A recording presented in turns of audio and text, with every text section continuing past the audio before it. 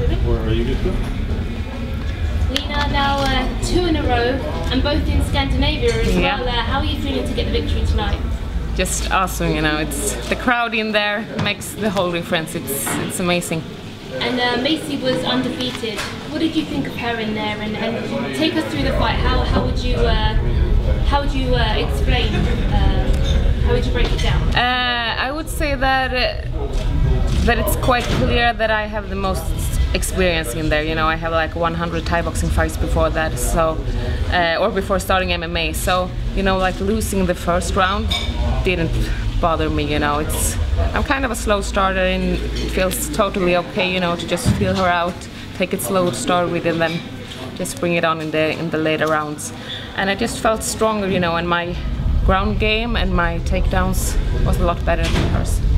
What was it that sort of clicked between the first and second round? Because it was like you came out, it was complete. It was like you'd figured. it. Yeah, yeah. You know, I I just think that.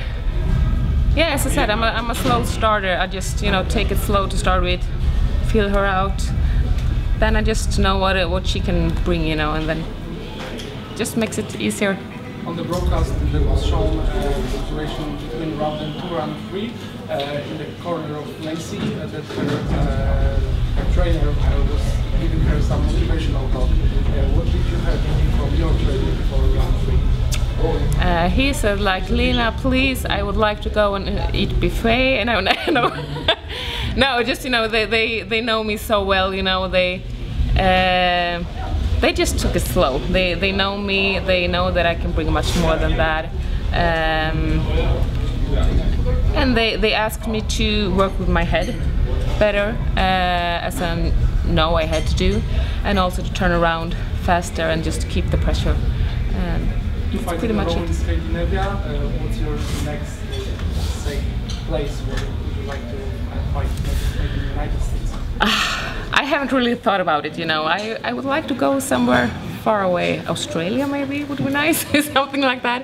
Uh, but I need some, some vacation first. Känns det som att du är bättre än någonsin? Ja, absolut. Det måste jag säga. Att det är verkligen saker som, som klickar. Jag älskar känslan av att saker bara händer utan att jag liksom har någon... Det är ingen fördröjning. Det är inte så att jag behöver tänka på vad som ska hända utan saker bara händer. Och det är en fantastisk känsla- So these two past fights have been very, very impressive. It's just you know better and better competition and better, better performances. What, what's changed for you? Because it definitely seems like we see just a stronger, happier, just healthier Lena. Uh, I think that that's it. You know, I, I am more happy. I travel around more. I go and train with other women, other places, uh, and everything is just more fun. You know, and my coaches they really you know they take care of me and they take you know equal responsibility. Some of them uh, a little bit more people involved. It's easier for for everybody, and yeah, I, I am more happy definitely. What's your pick on the main event tonight? Jack.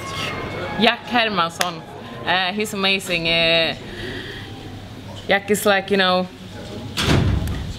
I've known him for, for a while now. We, we fought in Cage Warriors together so many years ago. And he was always, you know, so happy. When you when you meet him at first, it's quite difficult to understand that he's fighting because he's just so nice and so happy, and you like want to hug him, you know. Uh, and he's a badass, you know. It's so nice to see him fight because it's so much energy, and he's he's really something else. He will Yeah. definitely win that one. The atmosphere sounded great out there. Did it um, contribute a lot to your performance? Definitely. Uh, it means the world to me. It's like, you know, it's so hard to describe the feeling walking into a crowd like that. You know, it's, I can't compare it to, to anything else. I need to get children or something to, to be able to do that, I guess. After your last fight, you said that you were interested in a rematch with Aspen Ladd. Is that still on your mind, or do you have somebody else in your place? She's definitely on my mind. When would you like to get back in there? Obviously, you've had uh, I think two fights this year. When when would make sense for you next?